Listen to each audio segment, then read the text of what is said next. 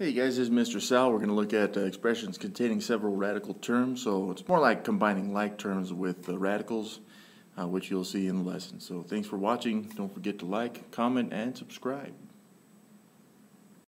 So adding and subtracting radical expressions, we're really just looking at that radical, right? Like, um, like this one right here. Okay. Um, here's the thing: is is if you saw that as 4x plus 3x you'd feel really good about it, okay? Because you've done that before and you've done a lot of it. However, now instead of an x, we've got a square root of 5. We're going to combine these pretty much the exact same way. So 4 root 5s and 3 root 5s would give us 7 root 5s. And that would be our answer. Now it is possible in some cases we have to force the root to be the same so that we can combine them. And if uh, if they're not, then we just can't. We can't combine them. So if if if this example, maybe in the front here, had plus um, I don't know eight square root of three, I wouldn't have been able to combine that eight square root of three with the other stuff. And in that case, we would have treated it as 8y instead of an x value. All right, so just identifying like terms like we're used to. I've got root 6s and I've got root 2s. Okay, I'm going to focus first on my root 6s just because it's in the front. That's the only reason. Uh, the values of these don't matter. So I got this negative 4 root 6 and this negative 3 root 6, which would combine into negative 7 root 6s. But then I've got these root 2s. I've got 7 root 2s and 2 more root 2s would combine into a positive 9 root 2's. Done.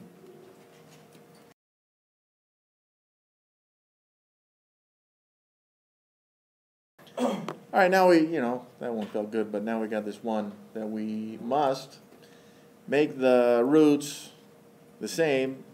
Really what that means is to simplify them, okay? Because if they do simplify, um, and they're not the same, then we probably weren't able to um, combine them anyways. Okay, so we'll just uh, simplify them completely. So like this 112, for example, and 28. I'm, I'm kind of looking for common factors here. And on 28, maybe we could look at 7 and 4. And yeah, I am kind of cheating on that. Okay. And then 112, I could look at 7 and, I don't know, 16. Now again, I'm doing that on purpose because 16 and 4 are both perfect squares. So, I mean, if we wanted to kind of do what we did last time by finding pairs, we could. But I can square root them at this point, which leaves me with that negative 10 in front. I'm just looking at that negative 10 square root of 112x. And then I would multiply it by the square root of 16, which is 4. And then anything else that was not a perfect square is left over, right? Which would have been the 7 and the x and I'll say this, right, the 16, the square root of 16, because the 16 was in the square root, became that 4 right there in the front. Now that just simplifies negative 10 square root of 112x. And yes, this is minus. And we got a 9 in front. And I'm going to take that square root of 4, because it's a perfect square, and multiply it by the 9, or negative 9. Square root of 4 is 2. And now I've got the square root of whatever was left, the 7, and the x. And yes, now we have two square roots that are the same. I got the square root of 7x for both terms. So uh, I guess I should multiply those, right? Negative 10 and 4 is negative 40. Negative 9 and 2 is negative 18. And we got the square root of 7x. And now I'm going to combine the two like terms right, my uh, square root of 7x's. And if I took negative 40 of them and combined them with another negative 18 of them, I'd get negative 58. That's about as far as I can simplify that.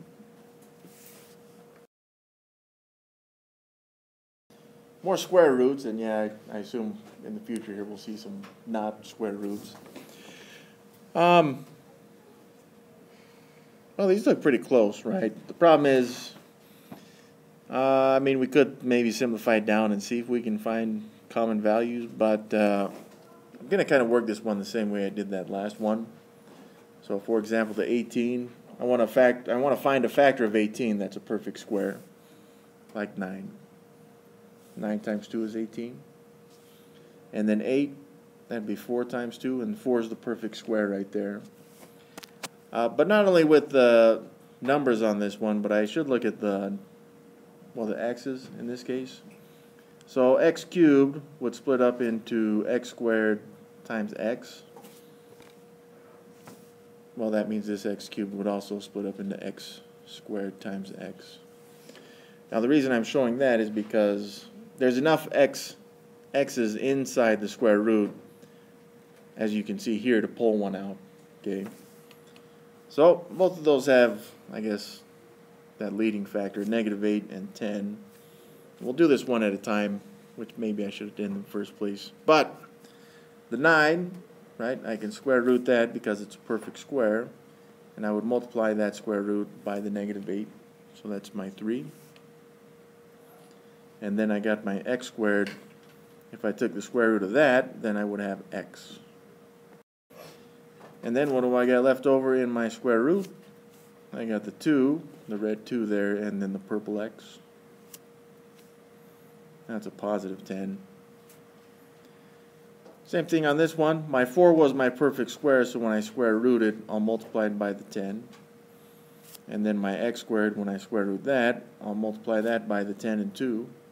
So times the x. And we'll multiply this by the square root of whatever's left, the 2 and the x. And they're, they're the same square roots now, okay? But again, we should multiply before we start adding those together. So I'm going to combine uh, negative 8 with my 3 x's. That'd give me negative 24 x's. Square root of 2x. Yeah, then we got 10 times the 2x, which is 20 x's, with the square root of 2x. and when I combine these, for my square root of 2x's. Uh, I got negative 24 x's of them and 20 x's of them. So that would combine to be negative 4 x's of my square root of 2 x's. That's it.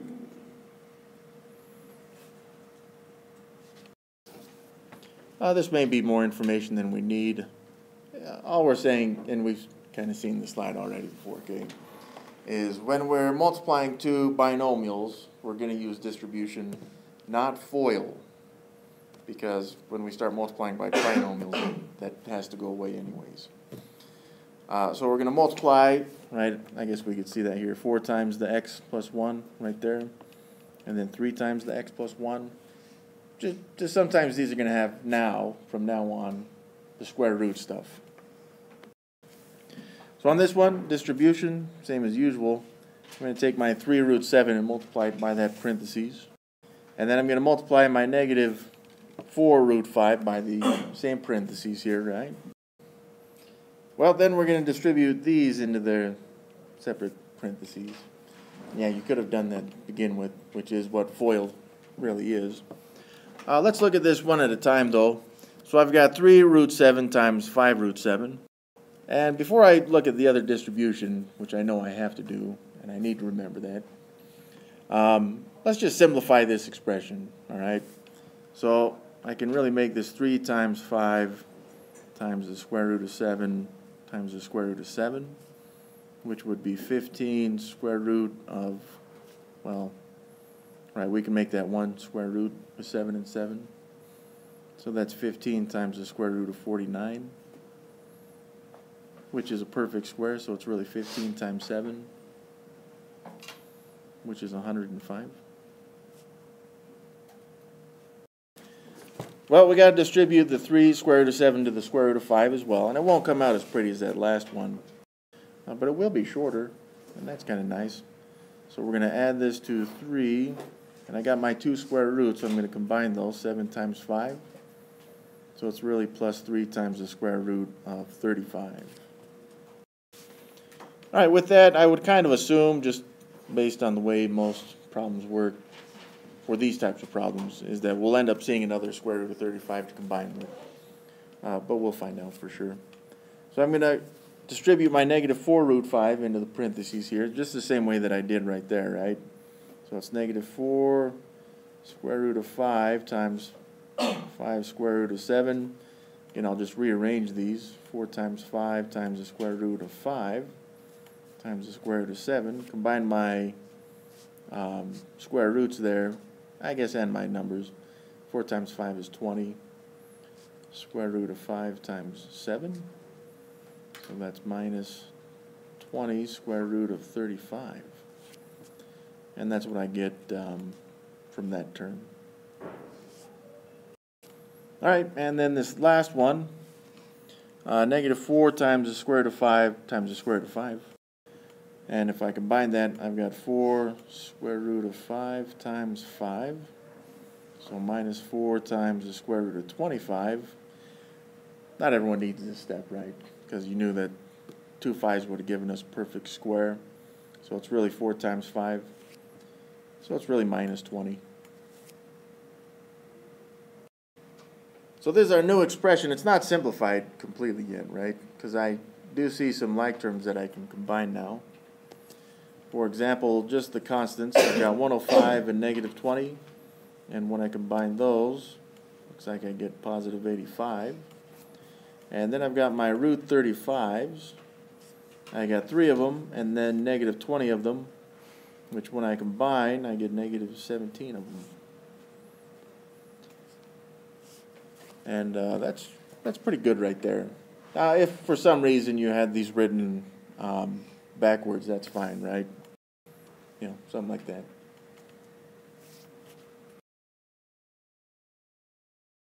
conjugates are great because what we're really trying to get from conjugates, right? Because well, as you guys have seen, at least in this section, is we're dealing mostly with square roots. So a conjugate is helpful because of the difference of squares, right? So if we look back at the difference of squares, um, the factored form of the difference of squares, it does give us conjugates, all right? Now notice with the conjugates, it's not like it changes, um, I guess, the sign for the leading value, the a value. All it did was it changed the operation between the two. I guess from minus to minus and plus, okay? Now here's the nice thing about this is when we use conjugates, and this is for rationalizing denominators, by the way, which we've seen, but only with one term, so they were monomials, is when we get square roots in there, like let's say that b right there was the square root of, uh, what the heck, 7, and then this b was the square root of 7, then this would turn out to be the square root of 7 squared, which really is just 7.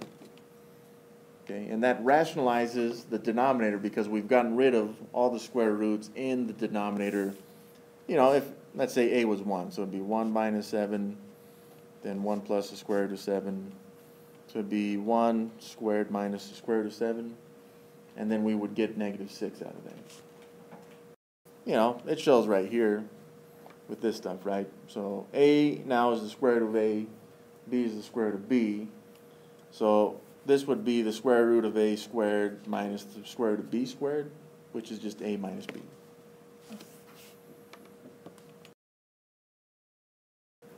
Rationalize the denominator. That's all we got to do on this one. That's nice. It would have been great if that square root of 6 was something like the square root of 4, though, because then it would just be a square root of, well, just 2, right? Well, we need conjugates then. And right now I'm looking at that 4 plus the square root of 6. And the conjugate of it would be 4. And I've got the square root of 6, right? Again, the objective here is to get the difference of square stuff. So instead of that being plus, I'm going to make it minus. All right? But it has to be a factor of 1. So if I do it to the denominator, I've got to do it to the numerator as well. So I'm going to multiply that by 4 minus the square root of 6 as well. Well, now we're just multiplying. Well, there's a lot of multiplication. I'm going to show all the work on this one, though, just so we can kind of see what the heck is going on. So I would distribute the 4. I'm going to start with the denominator, which is kind of unusual, right? I'm going to start with the 4s. So that would be 4 times 4 minus the square root of 6. And then I've got the square root of 6 distributed as well. So that's a positive square root of 6 distributed into 4 minus the square root of 6. Uh, again, I may just skip some of the steps on this, okay?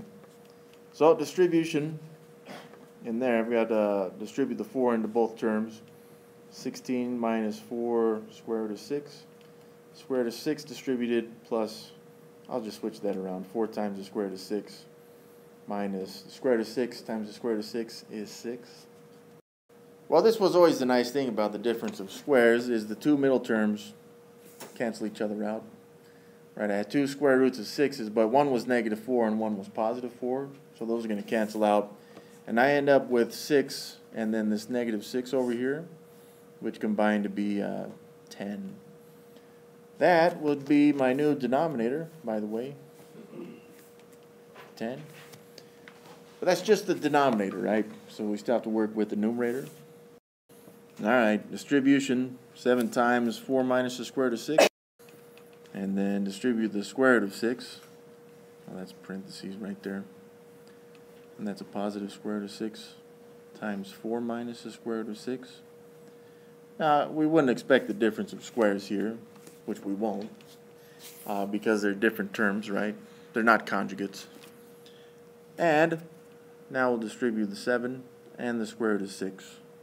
So 7 times 4 is 28, minus 7 times the square root of 6, 7 times the square root of 6. Plus, uh, we'll make that 4 times the square root of 6, and minus square root of 6 times the square root of 6, is the square root of 36, which is 6. Now I'll just combine uh, like terms in the new, because this is still the numerator, right? And I've got, well, the 28 and the negative 6, which would be 22. And then I got my square root of 6's. I got negative 7 of them and then 4 of them, which is negative 3 of them. Now again, it doesn't matter which way you write that. You can write the square root in front if you want, but I'll just write it the way that I have it. 22 minus 3 times the square root of 6. Gave myself a little bit more space than I needed, but that's okay. All right, we'll rationalize this one as well. So same idea on this one, right? We're going to look at this like a binomial. And we need to multiply it by its conjugate. So we got negative 1 and the square root of x. Uh, but we're going to change that to plus instead. Now instead of showing the distribution on this, because we've seen it, um, I'm just going to use the difference of squares on these now. But if I do multiply it in the denominator, I must multiply it in the numerator as well. So, since these are conjugates, and, well, actually, right, I guess I could start with the numerator on this one. Do you guys care? Okay, well, uh, we could distribute that 1 into the parentheses. 1 times anything is not going to change it, so I just end up with negative 1 plus the square root of x. That's nice. Uh, but down here we've got conjugates. So I'm really going to take negative 1 and square it. And then we're going to subtract the square root of x and square that as well. Okay? And negative 1 times negative 1 is 1. And the square root of x squared is x. So I really just end up with 1 minus x. And that's my denominator. And well, comparatively, that was kind of short, right? But we did use the difference of squares on that. All right, so showing the distribution on that, right, I've got the negative 1 times that set of parentheses. And then I'm going to distribute this negative square root of x into the same parentheses. And now we'll actually distribute those values into separate parentheses. So we get 1 minus the square root of x. You could say negative 1 square root of x. And then I've got negative square root of x times negative 1, which is positive 1 square root of x.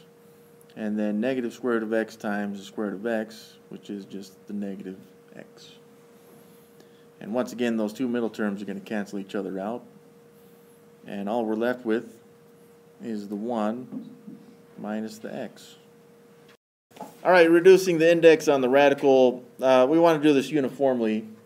And to do that, mm, I'm going to use the rational exponents to do this one, okay?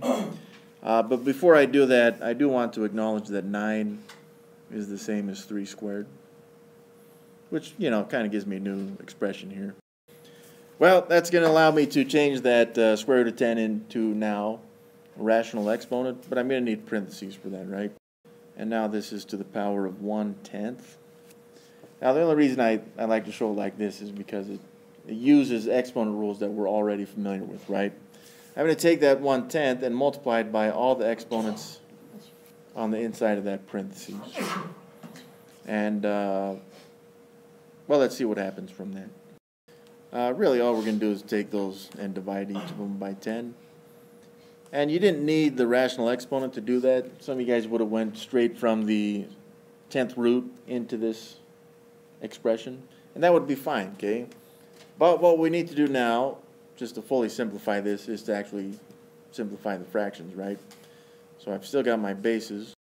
But simplifying those fractions, I would get 1 fifth for my exponent of 3. X also, that'd be 1 fifth. Y is 2 fifths. And Z is also 1 fifth. So at this point, you could factor out a fifth from each of those exponents, right? But since we already know that those fifths are going to give us a root value, I'm going to change that into the fifth root for each of them, each of the bases. Now that fifth root came from the denominators all being the same, so I've just got to acknowledge each of the numerators for all four of those um, factors right there. So 3 to the 1th, x to the 1th, y squared, and z to the 1th. Yeah, we don't really need to show those ones there either. Whatever you want. There we go.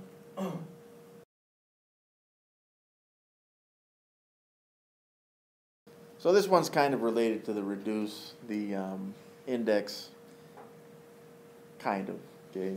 On this one, we're really just looking to combine like terms, which will require that denominators be the same. Some of you guys know why that is right now, but we'll find out, okay? Um, what I want to do is kind of do the same thing we did on that last one with changing the index stuff. So instead of the seventh root of ab cubed, and I'm going to skip a step on this, I'm going to make it a to the 1 seventh times b to the 3 sevenths.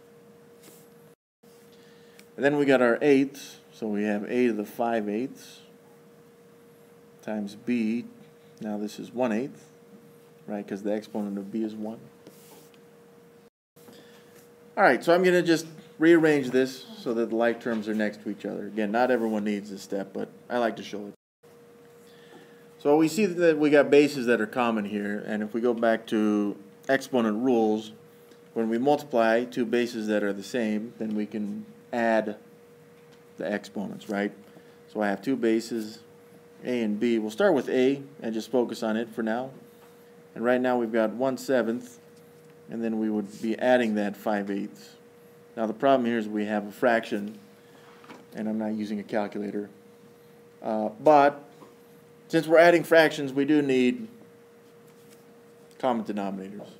So it would take the 1 seventh and multiply the numerator and denominator by 8, which I guess is also our lowest common denominator, but I'm strategizing here. And then 5 eighths times 7 over 7.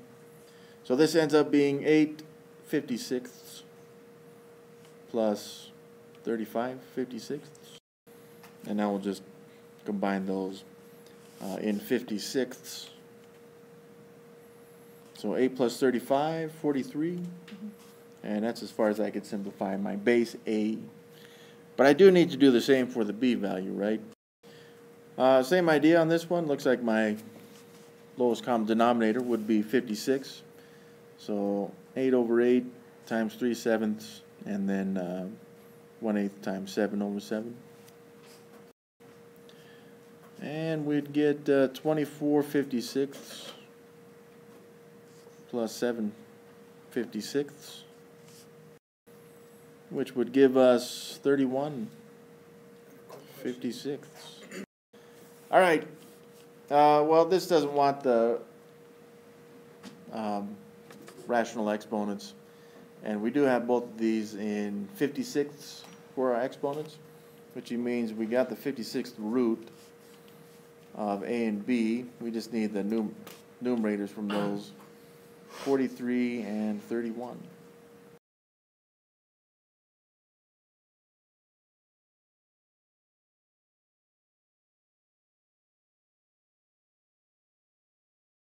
All right, we'll simplify these. Notice, I mean, the only difference here is that instead of multiplying those two, is we're now dividing them.